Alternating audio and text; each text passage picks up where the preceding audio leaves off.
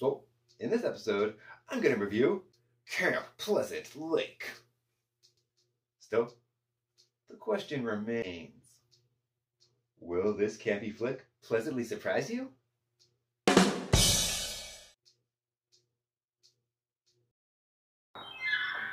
Where will the first kill be? Wouldn't you like to know? Welcome to my channel. Thank you for clicking on my video.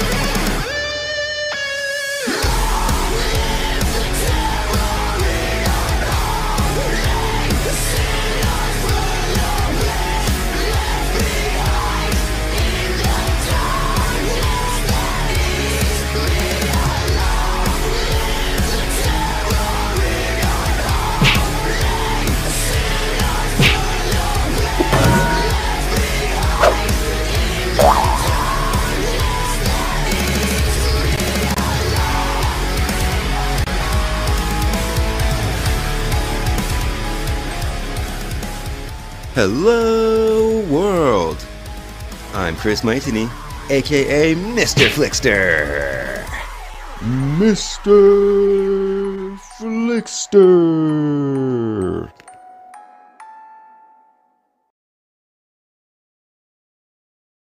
Camp Pleasant Lake. It's the new horror comedy about a couple revitalizing an old campsite, connecting them to a chilling past that reveals a 20 year old mystery involving a missing boy and girl. Now, legend says that Echo Meadows was kidnapped by Echo's little brother. What happened to him? As bizarre events unfold, they must confront the forces linked to the heinous crime.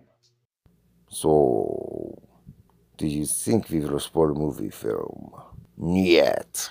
This is spoiler free review. Hey, that's my wine. I think not, baby kitty. Ho ho ho. Written and directed by Thomas Walton, the comedic tone is quickly established with callbacks to 80 slashers and self aware humor.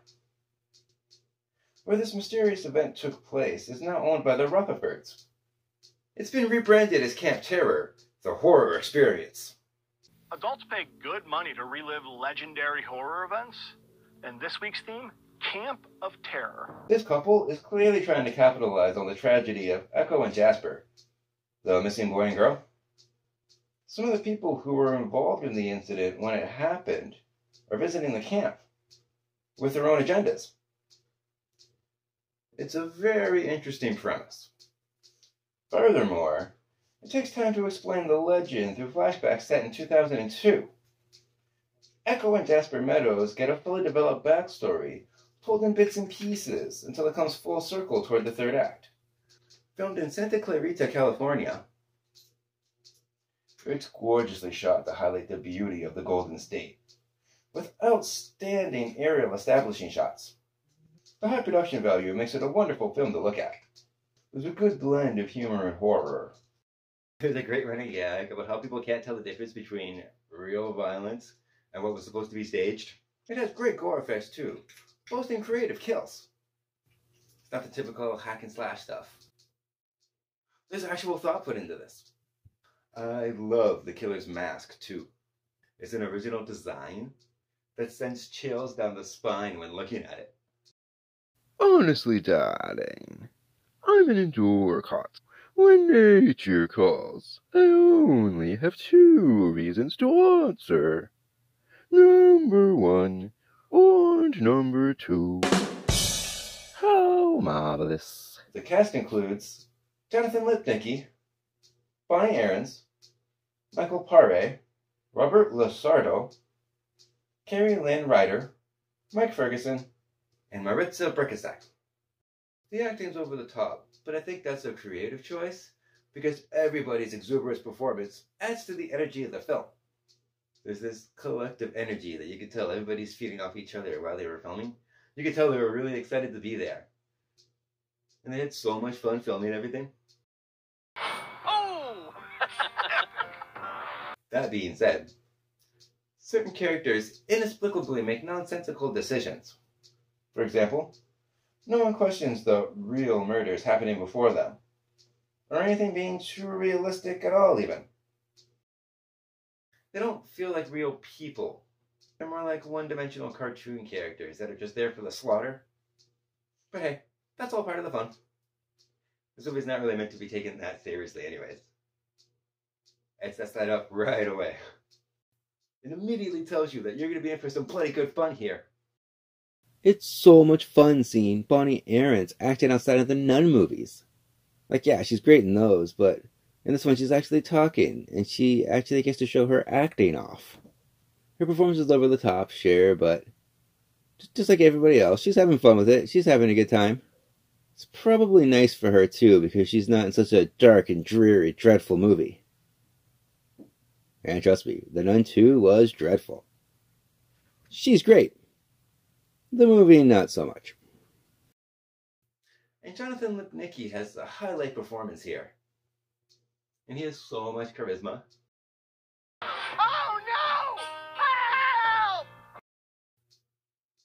Probably has the most energy out of everybody. Who knew this was the kid from Jerry Maguire? Jerry, do you know the human head weighs eight pounds?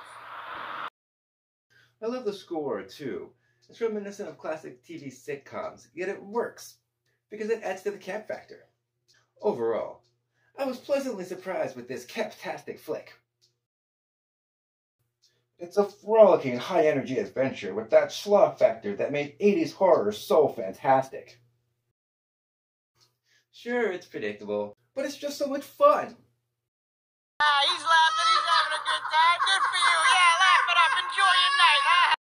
It's more about the journey than the destination. It fully embraces the silliness of those classic 80s slashers. It tells a genuinely scary story when you think about it on a deeper level. It never takes itself too seriously, while touching on themes like being desensitized to violence, financial gain from pain, influencers, social media, and childhood trauma. I love how it takes place around Halloween, too. That makes it a Halloween movie. And it frequently features the holidays iconography. I can totally see this being an annual Halloween watch. It's that enjoyable.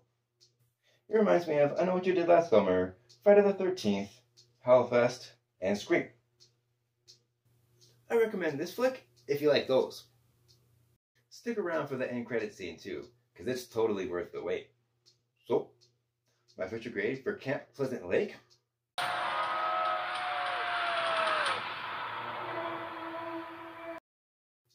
is large popcorn.